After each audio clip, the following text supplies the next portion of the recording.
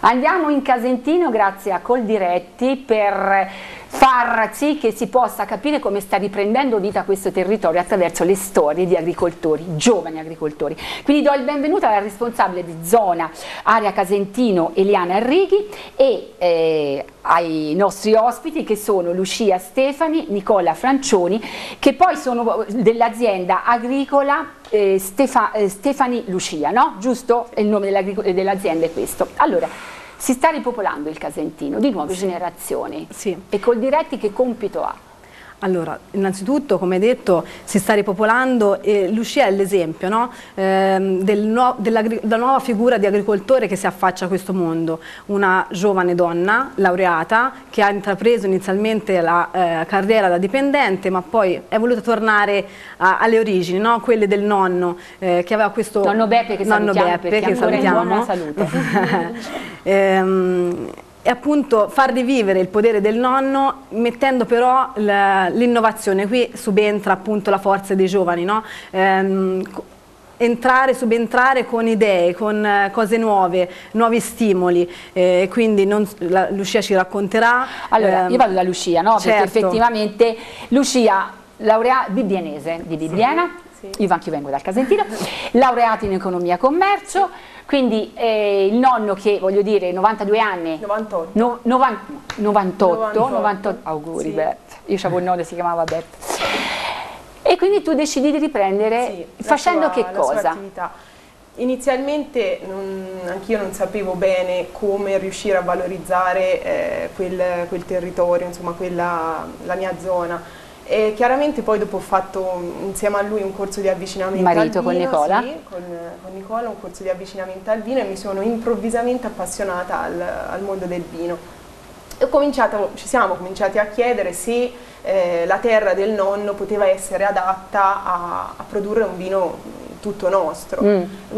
Guardate, eh, queste sono le, la, la, vigna, sì, che sì, sono sì. piante di Sirà, no? Sirà, eh, sì, eh. infatti abbiamo cominciato a informarci. Questo insomma, quando è successo? Nel 2000? Eh, il corso l'ho fatto nel 2015-2016, abbiamo fatto lo scasso per la vigna e nel 2017 l'abbiamo piantata. Eh, ma è vero che anche il nonno Peppe... Il nonno ha piantato la sua barbatella, il suo nonno anche. Lo sai che mi fa venire i brividi? Giu tutta la giuro, nostra guarda. famiglia ci ha aiutato insomma, in questo progetto che inizialmente era anche un po', insomma alla fine io avevo il mio lavoro, era, sembrava tutto già abbastanza cioè tu lavoravi fuori? Sì, sì, sì, io lavoravo Quindi anche hai avuto coraggio, no? Sì, però ci sì, vuole il sì, coraggio, però l'ho fatto con una certa tranquillità perché comunque sapevo che, cioè comunque la, i miei genitori, Quindi anche babbo, col diretti ti è stata vicino in mm, questo momento sì, così sì, anche? Eh? Sì, anche grazie a loro insomma ho, ho avuto il sostegno per poter cominciare questa, questa attività. Poi comunque con la consapevolezza che dalla terra comunque qualcosa si riusciva Guarda a fare. che mangiare è un atto agricolo a 360 gradi, esatto. quindi se uno ci crede esatto. in un progetto sì, e poi alla sì, vostra età sì, giovane, se non lo fate ora voglio dire quando. No, quindi eh, praticamente una generazione è, stata, è saltata, il tuo papà, e, e, quindi l'hai preso in mano te, una donna. Però nel cammino, quant'è che siete sposati Nicola? Eh, dal 2019 sono 5 anni, però ci conosciamo praticamente quando siamo bambini. Sono nati, nella sono nati sì, sì, e avevano sì. la casa attaccata? Eh, vicini di casa da sempre. Cioè, veramente. Cresciuti insieme, quindi mi conosce da quando sono nato, i pregi e i difetti. Quindi è una vita... Ho preso tutto il pacchetto. Eh vabbè, tutto il pacchetto, ma poi voglio dire, i difetti a volte diventano pregi. Eh? Certo. Allora, e avete dato vita a un nuovo progetto che si chiama Glamping Pandaland in Casentino. E allora perché tu sei un collezionista, quante panda hai? Guardate che lavoro! Eh, le panda, la panda è la passione, l'unica passione che ho, che è importante, quindi è solo questa, e fin da piccolo, ora sono... Sarà il meglio. Sarà il meglio. Mm. Comunque donne e motori vanno di fuori passo. Sono 40 pande, la collezione di panda sembrerebbe quella più grande al mondo, così dicono. Sì, sì, sì. Quindi è una cosa importante, veramente, è una vita dedicata a questa passione. Ma dove le tieni? Si è fatta una struttura a Villa Magra dove c'è l'azienda agricola, c'è eh. una struttura, era una vecchia stalla che è stata trasformata in un museo, quindi è una cosa davanti alla vigna e è un posto meraviglioso. Cioè, è un'esperienza! Eh sì, veramente. E poi che avete inve- che cos'è questo Glamping Pandaland? Se lo devo spiegare al nonno Peppe dei 98 anni e alla mamma mia che ne ha 85. Ci sono, ci sono i nonni, sono nelle foto, si vedono. Per farglielo capire è stato, non è stato semplice, anche perché comunque è una rivoluzione a quello che è il concetto di azienda agricola, Eh. che comunque è legato all'azienda agricola. Eh certo. Eh, perché noi si voleva, cioè la, la mia passione per essere integrata nel concetto agricolo, eh, bisognava fare qualcosa legato alle pande e all'azienda agricola. Ecco Pandalen, quindi un'esperienza, la Villa Magra sono circa 30 ettari di podere recintati e eh, è venuto in mente di mettere queste casine di legno mh, sparse nel bosco di Villa Magra e quindi una- sono delle piccole strutture, chiaramente piccolissime, dove l'idea era quella di, è quella di avvicinare a ogni casina un modello particolare di panda per poter dare la possibilità a chi lo vorrà, quindi ai turisti che verranno, di stare in un posto, per me meraviglioso, per noi meraviglioso, e C'è la casina. una casina in mezzo al bosco, immaginati, ok, e poi di prendere la panda e di girare i luoghi del Casentino, chiaramente è una panda di 40 anni fa. E quella in Baradan sopra?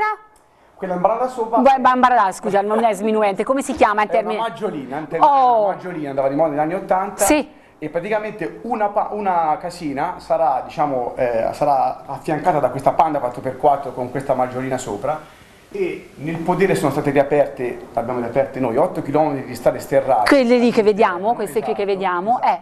E eh, chi lo vorrà, sempre come esperienza, la sera potrà prendere, anziché dormire dentro la casa, prendere questa Panda 4x4, girare in dei punti strategici di Villa Magra, Sì, bene? sì, sì. fermarsi la sera e magari si ferma, apre la sua tenda e dorme una notte dentro la Panda, sei in mezzo al bosco, quindi non, non- non pensi, sai, potresti essere veramente... in- Al sicuro al tu, sicuro, voglio esatto, dire, perché giustamente cioè, sono zone bonificate da voi, insomma, Esatto, voglio dire, no? Eh, assolutamente, certo. però fai un'esperienza che comunque è un'esperienza quantomeno Chi è questo accanto a te? È un giornalista. Questa che è un giornalista che hanno fatto quando hanno finito Eh certo, voglio dire, il, il collezionista a livello mondiale di panda che là di tutti i tipi, di tutte le... le ehm, Tutti i modelli, Quando è versioni uscita la speciali. prima panda? 1980. 1980. E quindi voglio Sì, dire, sì, sì. 40 mo- Scusa se la responsabile, perché io sono affascinata da sta cosa. Ma lei fa parte di questo progetto. ma mi eh, immagino, l'ha sposato in pieno. quindi- veramente orgogliosa di aver preso nel mio piccolo, aver dato il mio supporto a, a questo progetto. Cioè, eh, quindi diciamo che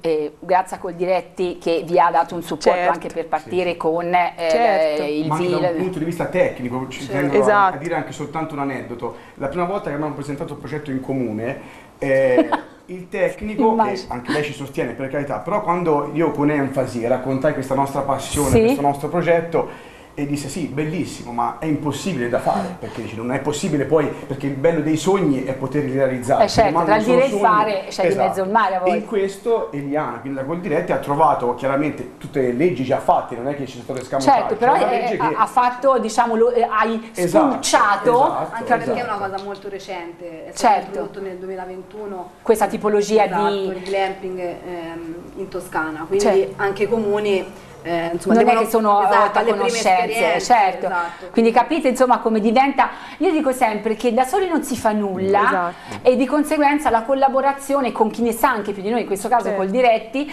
che eh, vi ha aiutato. Quindi però avete, fate accoglienza, quindi perché so che avete Sì. ristrutturato anche il Una, sì, casale. sì, sì, una parte della, mh, tutta, praticamente tutto il casale che il nonno aveva acquistato che negli ultimi anni era stato lasciato un po' all'abbandono, è Certo. stato tutto ristrutturato, nella parte sotto ci- insomma, abbiamo fatto tutte le cantine con una zona dedicata alle Quante degustazioni, sono circa 1500 per il momento. Sì, Bene, sì, sì, quindi sì. questo è il progetto che sta prendendo vita, Sì, già ha preso sì, vita. Siamo ai primi Oh, passi, bisogna mettere sì. in cantiere qualcos'altro, Sì, ragazzi. sì. Eh, Esatto, a, sì, a buon no- intenditor se no poche parole, eh, perché il nonno voglio dire qui ha visto la- rinascere il podere, eh, ha visto è tutto, adesso voglio dire diventare bisnonno sarebbe eh, da fuochi d'artificio, scusate, eh, non è che volevo essere invadente, ci mancherebbe altro. È il progetto anche quello in fase di...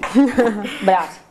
Detto questo, cosa possiamo dire? Col Diretti è anche qui in questa occasione a presentare veramente queste storie bellissime, che non è solo di lavoro ma è storia di vita, che dà esperienze poi al turismo, perché il Casentino è un luogo meraviglioso, non perché ci siamo nati, No, però no, è, è vero. così. È tutto da bello scoprire, sì. vedere agli altri. Chiudo dicendo solo una cosa, Dimmi. che chiunque penso vorrebbe vivere delle proprie passioni, no? Farne- Certo. farne- cioè poterci campare. eh, Quindi noi in questa Sì. cosa eh, ci si crede tantissimo nessuno e nessuno vuole diventare ricco, però vivere No, no, e, già- e dare agli altri un qualcosa in più, insomma. Vivere delle proprie passioni è Sì. già una ricchezza. Eh, Eh, sì, sì. senz'altro. E allora ringrazio un forco occhiali perché non vorrei sbagliare Le- Eliana Arrighi, responsabile di zona area Casentino, ringrazio eh, l'azienda agricola Stefa- eh, Stefani Lucia e qui abbiamo Lucia Stefani, Nicola Francioni, marito Grazie. e moglie da una Grazie, vita grazie. e quindi il Glamping Pandaland in Casentino andate in questa azienda perché lì potrete usufruire di questo. Grazie. eh. Grazie a voi, grazie, a tutti.